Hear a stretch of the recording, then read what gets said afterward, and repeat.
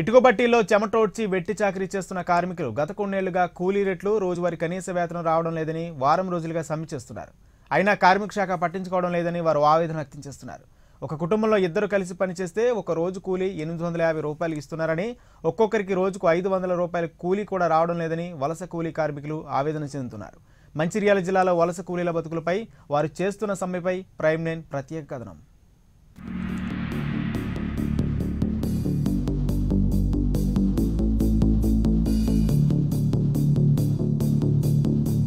మంచిర్యాల జిల్లా వ్యాప్తంగా ఇటుక తయారీ బట్టీలు రపల్లి ముల్కల వేంపల్లి బెల్లంపల్లి తాండూరు మందమర్రి కోటపల్లి వేమనపల్లి ప్రాంతంలో ఇటుక బట్టీల పరిశ్రమలున్నాయి. ఈ ఇటుక బట్టీల్లో రెండు వేల వరకు కూలీలు పనిచేస్తున్నారు. ఇక్కడ పనిచేసేందుకు కొమరంభీం జిల్లా ఏజెన్సీ ఒడిశా ప్రాంతాల నుంచి వచ్చి నిరుపేద కూలీలు పనిలో చేరుతున్నారు. వీరిలో కొందరు మధ్యవర్తుల ద్వారా మరికొందరు బట్టి యజమానుల ద్వారా పనిలో చేరుతున్నారు. ప్రతి ఏడాది అక్టోబర్ నుంచి మే వరకు పనుల సీజన్ ఉంటుంది. ఈ సీజన్లో బట్టీల వద్దే తాత్కాలికంగా గుడిసెలు వేసుకొని వీరు జీవనం సాగిస్తూ ఉంటారు.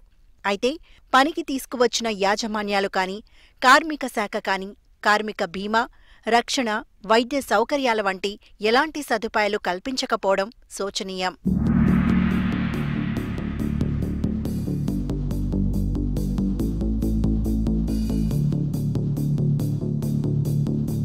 ఇంటి నిర్మాణంలో వారి చెమట చుక్కలతో తడిసిన మట్టితో ఇటుకలు తయారవుతాయి.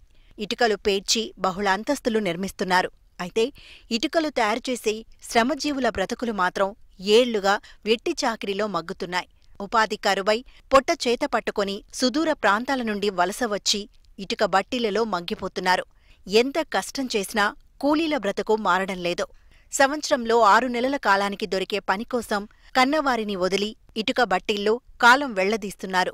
రోజంతా శ్రమ చేసినా తగిన గిట్టుబాటు రావడం లేదని వారం రోజులుగా ఇటుకల తయారీ నిలిపివేశారు కూలీలు. ఈ విషయంపై పలుమార్లు ఇటుక బట్టిల యజమానులతో కూలీలతో పలు సంఘాల నాయకులతో చర్చలు జరిపినప్పటికీ సమస్య పరిష్కారం కాలేదు. కూలీలు ఎంత మొరపెట్టుకున్నా రేట్లు పెంచకపోవడంతో పని మానేశారు.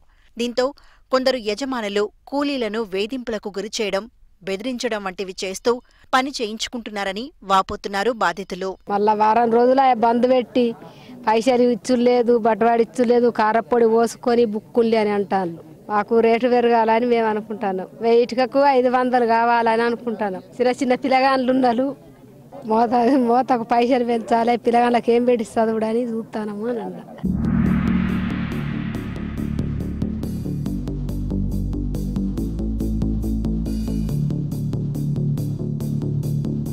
మంచిర్యాల జిల్లాలో ప్రస్తుతం వెయ్యి ఇటుకలు తయారు చేస్తే ఎనిమిది వందల యాభై రూపాయలు ఇస్తున్నారు. మూడేళ్ళ క్రితం ఈ కూలీ ఏడు వందల ముప్పై ఉండేది. పెరిగిన నిత్యావసర ధరలకు అనుగుణంగా రేట్లు పెంచాలని కూలీలు కోరుతున్నారు. తయారు చేసిన ఇటుకలను మోసే కూలీలకు ప్రతి వెయ్యి ఇటుకలకు రెండు వందల యాభై రూపాయలు ఇస్తున్నారు. అయితే వారికి ఏమాత్రం సరిపోవడం లేదని వాటిని ఐదు వందల రూపాయలకు పెంచాలని వారు కోరుతున్నారు. అయితే యజమానులు కూలీల మధ్య ఉన్న ఒప్పందం ప్రకారం ప్రతి రెండేళ్ళకు ఒకసారి కూలీ రేట్లు పెంచవలసి ఉంటుందని బాధితులు చెబుతున్నారు.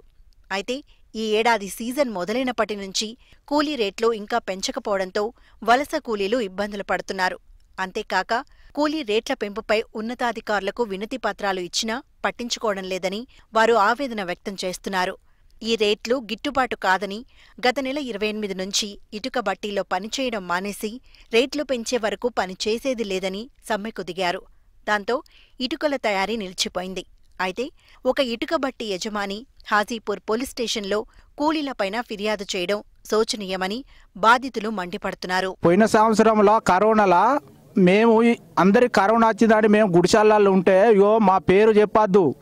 మా పిల్లలు చిన్న పిల్లల పట్టుకొని ఓన్లీ కానీ మా పేరు చెప్పకుండి మా ఊరు చెప్పకుండా మీరు ఏంటన్నా జావుండి గుట్టల పొంటి పోతారా చెట్ల పొంటి పోతారా ఏందన్నా ఓన్లీ కానీ మా పేరు మాత్రం చెప్పొద్దనుడు. చిన్నపిల్లలను పట్టుకొని పోతే కూడా అంతా కూడా ఇంత ఇంత పని చేసినా కానీ మమ్మల్ని ఇంత కూడా పాపం అనే దిక్కులేదు ఇడ ఈడ.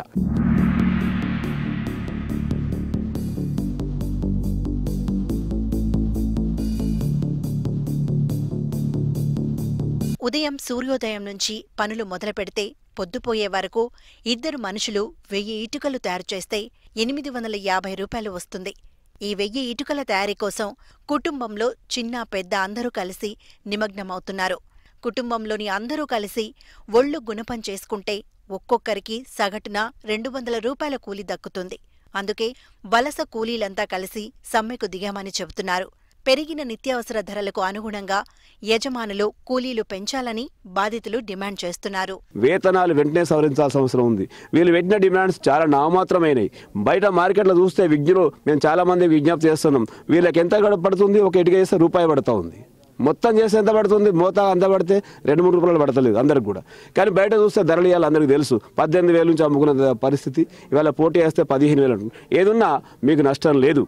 ఇవాళ వేరే వ్యాపారాల కన్నా కూడా ఇటుక వ్యాపారం చాలా పవర్ఫుల్గా ఉంది మంచిగా ఉంది. దీన్ని అర్థం చేసుకొని యాజమాన్యం మొండికేసి తప్పుడు దూరంలోకి పోకుండా అలాంటి కార్మికుల్ని వెట్టి చాకిరిలాగా బాండెడ్ లేబర్ లాగా మీరు ఉంటారా పోతారా అనే రకంగా లేకపోతే వాళ్ళు ఇచ్చిన రెండు వేల అడ్వాన్సులకు మీరు ప పని చేస్తుండ్రని చెప్పి ఆ, ఈ రకంగా బెదిరించడం ఏమాత్రం కరెక్ట్ కాదు.